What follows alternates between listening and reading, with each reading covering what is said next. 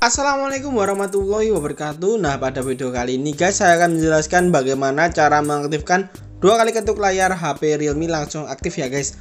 Oke langsung aja saya akan jelasin caranya. Pertama-tama silahkan kalian masuk ke pengaturan seperti ini. Nah setelah itu silahkan kalian uh, klik search kayak gini Dan ketikin aja gerakan ataupun gestur kalau bahasa Inggris.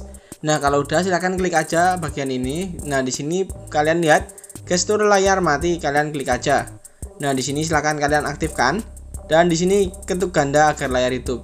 Nah, secara otomatis bakalan langsung bisa ya guys. Nah, di sini saya pakai satu HP aja jadi nggak bisa uh, liatin contohnya langsung ya. Tapi dijamin bakalan bisa. Kalau nggak percaya silahkan coba sendiri guys.